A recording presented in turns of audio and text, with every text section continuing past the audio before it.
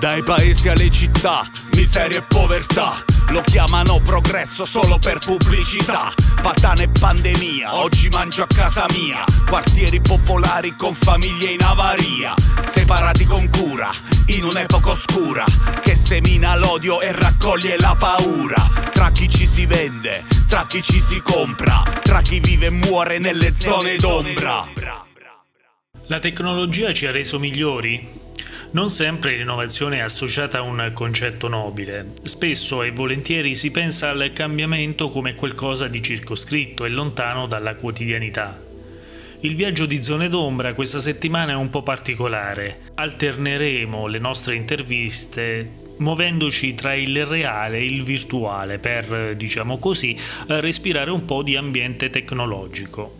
Fino a non molto tempo fa pensare a un'intervista televisiva in smart working era quasi fantascienza. Oggi si può. E anche noi abbiamo portato all'interno di questa puntata alcuni contributi di persone che ci hanno aiutato a capire quanto la tecnologia ha cambiato le nostre vite. Ma soprattutto se il cambiamento ha portato con sé un miglioramento della quotidianità. Sì, pronto? Ciao Guido, come stai? Bene, grazie a Dio tutto bene. Antonio ci aiuta a capire nello specifico quanto la tecnologia gli abbia cambiato la vita.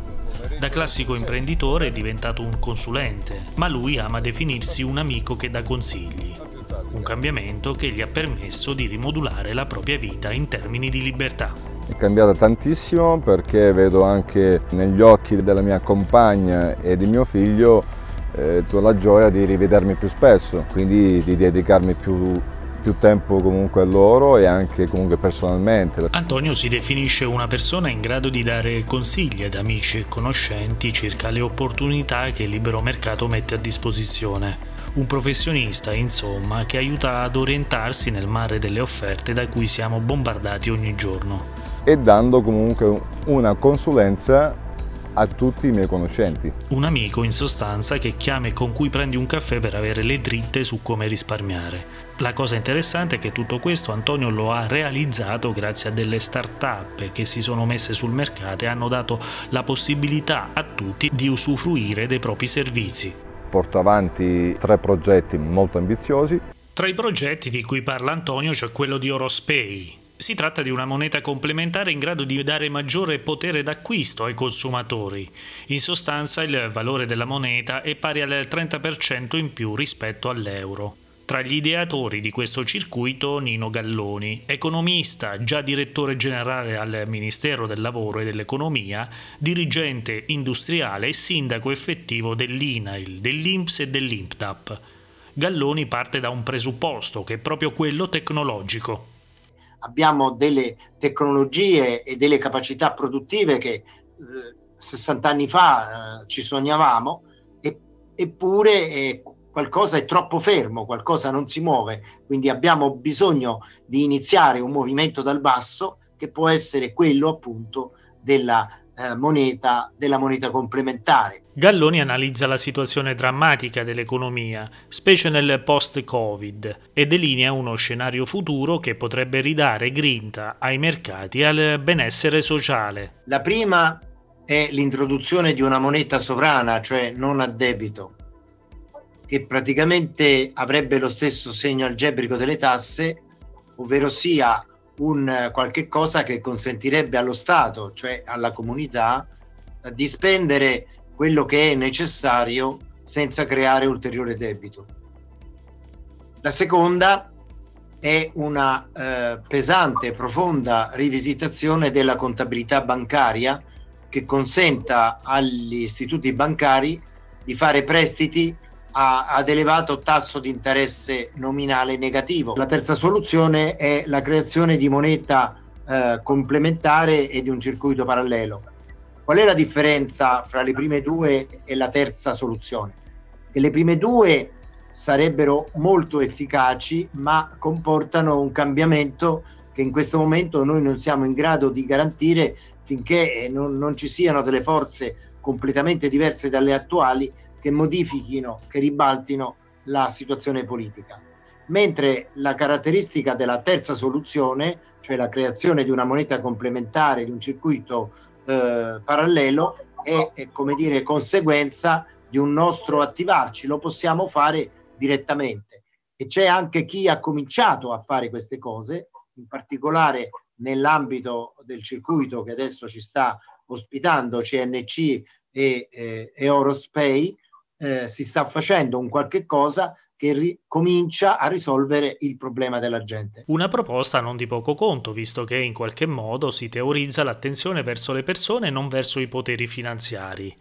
Dunque, il focus è sulla moneta complementare che parte, come spiega uno dei fondatori Leonardo Leone, che insieme a Galloni e all'economista Vito Vavalli hanno creato Rospay, da una cruda fotografia della realtà dal 2002 a oggi il costo della vita sta rincarando di anno in anno. Se tu guardi l'autostrada in dieci anni è quasi raddoppiata, il costo delle sigarette, il costo del, eh, di tutto, insomma è aumentato sostanzialmente tutto. Guardi le materie prime o eh, prodotti per esempio per, per, fare la spesa, dalla frutta, dalla carne al pane, aumenta tutto. Quindi quando ci parlano di inflazione, l'inflazione non è altro che eh, l'andamento dei costi, eh, della, dell'alzamento dei costi, realmente dicono che non c'è, ma c'è. Quella che è la situazione attuale proprio oggi, dal 2020 in poi, riguardo le aziende, ovvero eh, il rischio che eh, 390.000 aziende in questo 2021 chiuderanno, eh, le, ovviamente eh, 2 milioni di posti di lavoro sono a rischio e tutto quello che sostanzialmente ci spaventa di più è che altre 70.000 eh, aziende eh, rischieranno di chiudere entro la fine del 2021. Vuol dire che nel totale tra il 2020 e la fine del 2021 potrebbero andarsene il eh, mezzo milione diciamo, di aziende, che sono il 10% delle aziende. Le aziende realmente sono circa 6 milioni. In pratica la soluzione è quella di ridare valore alla moneta tu apri un conto presso la Cassa Nazionale Complementare e immediatamente hai un 30% sul tuo conto. Cosa significa? Che mettendo sul tuo conto 100 euro hai subito da spendere all'interno del circuito 130, subito, non ma- domani, tra un anno, tra sei mesi. Una soluzione che, come ci spiega il professor Vito Vavalli, era già scritta nei libri di storia. Ci aveva già pensato addirittura Marx, Keynes, eh, ci avevano pensato in molti ma nessuno lo aveva fatto, perché non conviene al sovrano di spossessarsi di uno strumento che gli consente di fatto di condurre la danza e di portare eh, sul suo, nelle sue tasche eh, i risultati del nostro lavoro. Questo è il problema vero e, e questo è il concetto di moneta debito. Un progetto reso possibile evidentemente grazie alla tecnologia e in qualche modo anche alla comunicazione. Un'idea che ricalca, con i dovuti distinguo, quella del professor Giacinto Auriti. Qual è la soluzione del problema? Il problema va risolto alla radice. Quando noi abbiamo detto dobbiamo creare un reddito monetario di cittadinanza con una moneta alternativa, noi come sindacato antiusura abbiamo cominciato a emettere il SIMEC. È nato di carta il SIMEC però è nato con una vivacità, con un entusiasmo, con una validità che ha impressionato le autorità costituite. Come tutti sanno, eh, Guardia Agraria è stata circondata da 120 uomini, sono venuti a casa mia, mi hanno sequestrato i SIMEC che noi facciamo circolare, abbiamo, io ho salvato della gente dalla disperazione. L'idea di Vavagli è quella di salvare le stesse persone dalla povertà, ma con l'ausilio della tecnologia. Aiuta tantissimo soprattutto chi? Soprattutto chi ha più bisogno ed è il concetto di munus. Tu hai più bisogno, ti devo dare più moneta. Ma dice, ma io poi come fa? Tu hai bisogno, usa questa moneta per fare ciò che hai bisogno di fare. Chi oggi ha più bisogno? Sicuramente le famiglie hanno più bisogno, le microimprese, e spesso le due cose coincidono, quante piccole eh, imprese fanno capo a una famiglia, a due famiglie al massimo? E questo, questo è un fatto che noi dobbiamo comprendere. E allora abbiamo creato una moneta complementare non a debito che si differenzia molto dalle altre. Che cosa fa questo modello? Semplicemente dà più potere di acquisto ai cittadini ai consumatori, i quali innescano, portano, fanno da volano sulle imprese, piccole imprese, imprese di minori dimensioni, che entrano nel circuito e propongono i loro beni e servizi di qualità.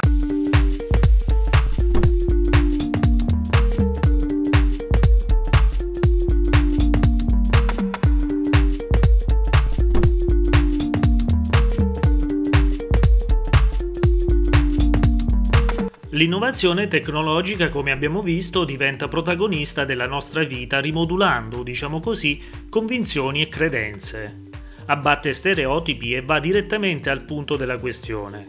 Nel nostro caso alla risoluzione del problema della povertà, Lasciamo dunque Antonio al suo lavoro e cerchiamo di capire quale altro aspetto l'innovazione ha contribuito a reinventare. Sicuramente il progresso tecnologico è continuo e io sono anche innamorato di questo progresso, però bisogna dire veramente le cose come stanno. E quindi mi piace citare Henry Ford che dice che il progresso è quando i vantaggi della tecnologia eh, vengono apprezzati e goduti da tutti. Innovazione credo proprio che sia questo, eh, quando eh, questo progresso incide realmente e speriamo positivamente sulla vita delle persone. Enrico si occupa di produzioni multimediali L'innovazione nel suo caso gli ha portato una profonda rimodulazione nel campo lavorativo. Dalla classica telecamera professionale è passato allo smartphone, cambiando anche il tipo di linguaggio. Questo linguaggio, il video, che è stato per anni e solo orizzontale, oggi va in verticale. Oggi con i social nasce un formato che prima non esisteva, quindi cambia tutto, cambia il contenuto, il contenitore, cambiano le informazioni che si vengono a dare con il video e cambiano anche le persone perché piano piano da homo videns diventiamo tutti homo media, non lo so, mm-hmm. il termine non lo so, però è questo, non siamo più tutti spettatori, ma possiamo dire la nostra. L'innovazione ha portato sicuramente l'esplosione di fenomeni come gli influencer, ma di sicuro il contenuto si è imposto spesso quando ha rappresentato un'idea originale e innovativa. Mi piace citare un solo esempio, quello di Valentina Perniciaro con la sua pagina Sirio e i Tetrabondi, dove racconta le avventure di suo figlio che purtroppo ha dei problemi molto seri e che iniziando con foto e video del suo bimbo e con dei post è arrivata persino a fondare una fondazione, a diventare l'influencer dei, dei traparesi. Sirio ha 8 anni ed è sopravvissuto a un episodio di morte in culla da neonato. Convive con una tetraparesi spastica e una paralisi cerebrale. Sui social la mamma, Valentina Perniciaro, racconta le sfide quotidiane che deve affrontare e la sua ricerca di felicità.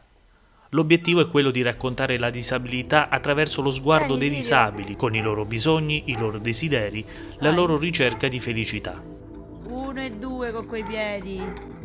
Valentina Perniciaro ha dato vita agli account social diventati virali, Sirio e i Tetrabondi, e lo fa come se a parlare fosse Sirio in prima persona. Sirio nasce prematuro, 10 settimane prima del termine. Quando viene ricoverato in semi-intensiva gode di un'ottima salute. Viene dimesso un mese prima della data presunta della nascita, quando non pesa ancora nemmeno 2 kg. Otto giorni dopo il suo cuore si ferma e per mezz'ora rimane senza ossigeno. Viene rianimato ma si trova in uno stato di coma da cui per i medici non uscirà più. Nel frattempo si rende necessaria anche la tracheostomia. Quello che si prospetta per Siro è un futuro in stato vegetativo e invece le cose sono andate diversamente per fortuna. Grazie alla ricerca sono possibili tre tipi di interventi. Trattamento neurochirurgico, terapia farmacologica e riabilitazione motoria.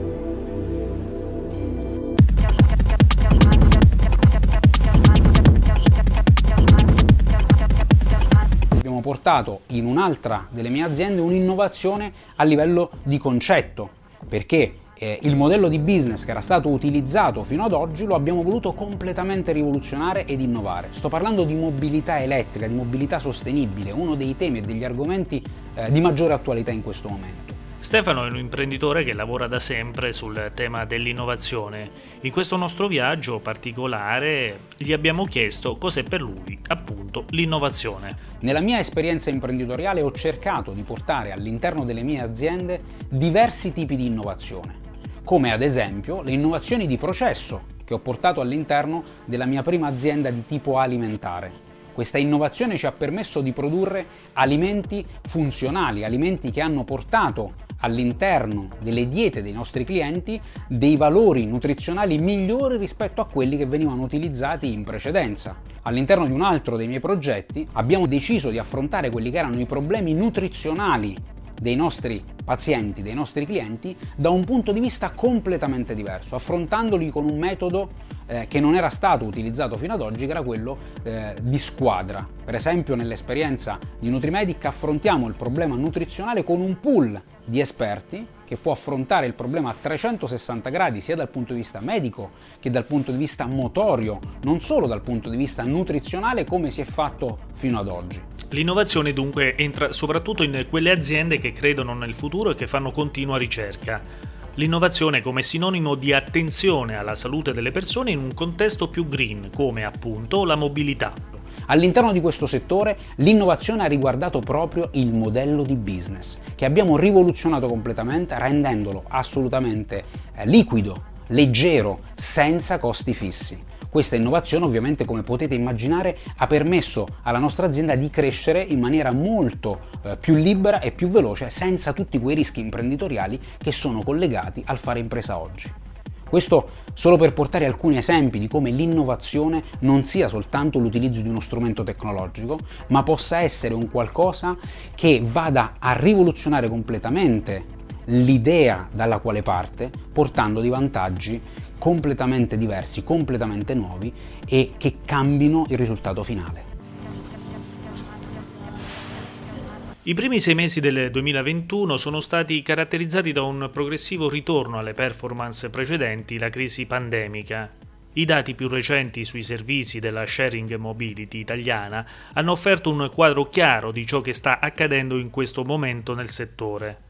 Altro dato interessante è che 6 italiani su 10 sono pronti ad utilizzarlo regolarmente. La sensazione a questo punto è che gli attori in campo siano pronti alla sfida verde, ma che la politica, come spesso accade, non sia in grado di garantire il cambiamento. Del car sharing i vari governi ne parlano almeno dagli anni 90. In un decreto dal nome Mobilità sostenibile in ambito urbano del 1998 l'allora governo D'Alema voleva fronteggiare l'emergenza benzene. Edo Ronchi, a capo dell'ambiente, mise sul piatto 8,5 miliardi di lire per finanziare progetti pilota nelle città italiane.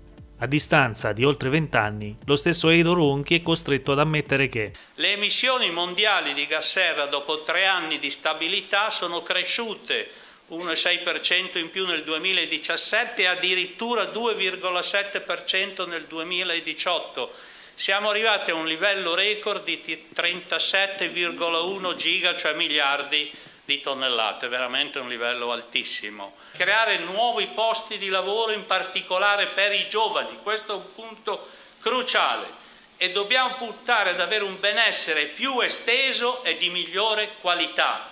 Attenzione alle crescite che non migliorano il benessere e non sono equamente distribuite questo è un grande problema delle nostre economie.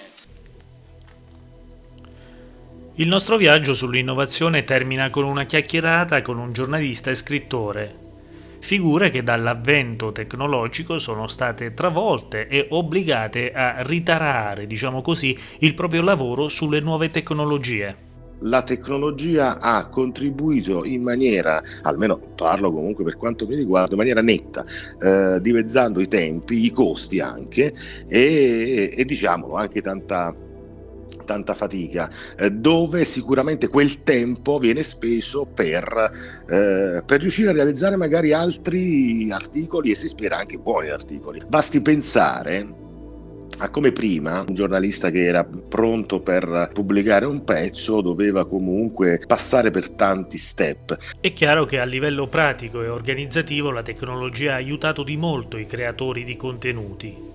Ma la domanda altrettanto interessante è: c'è la possibilità che l'intelligenza artificiale comunque gli algoritmi imparino anche eh, a, a, creare, ad avere ispirazione? Sì, è possibile, io non metto uh, limiti no, alla, alla, scienza, anche perché solamente qualche anno fa sarebbe stato impensabile immaginare dove saremmo arrivati con, nel giro di vent'anni con i cellulari, insomma. Quindi non metto limiti a questo, però il limite secondo me c'è quando si parla de, eh, de, de, della, dell'animo eh, del, dell'ispirazione romantica dell'ispirazione insomma no lì secondo me non, non, non, non può ecco, esserci algoritmo eh, che possa sostituire questo, tranne se un algoritmo che comunque scopiazza, e questo è possibile, altre sensazioni eh, umane. Questo sì, ma mh, mm, è, può essere un copia e incolla di situazioni già vissute.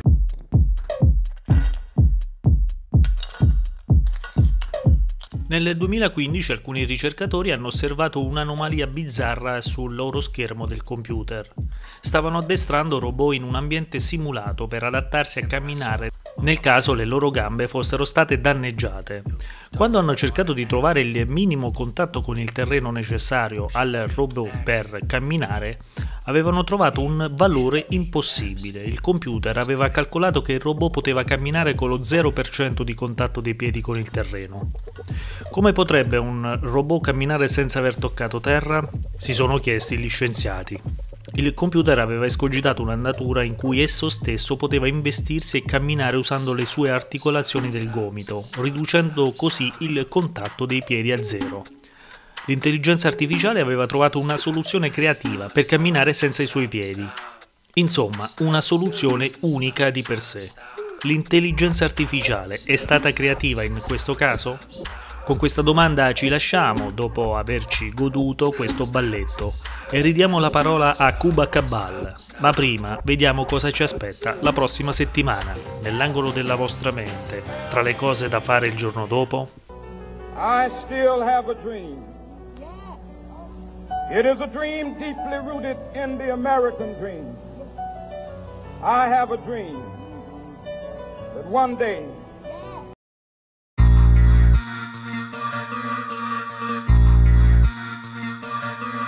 Dai paesi alle città, miseria e povertà. Lo chiamano progresso solo per pubblicità. Patane e pandemia, oggi mangio a casa mia. Quartieri popolari con famiglie in avaria. Separati con cura, in un'epoca oscura.